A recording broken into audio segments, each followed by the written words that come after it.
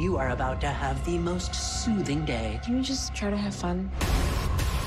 Someone poisoned the water lily. It's shooting thorns.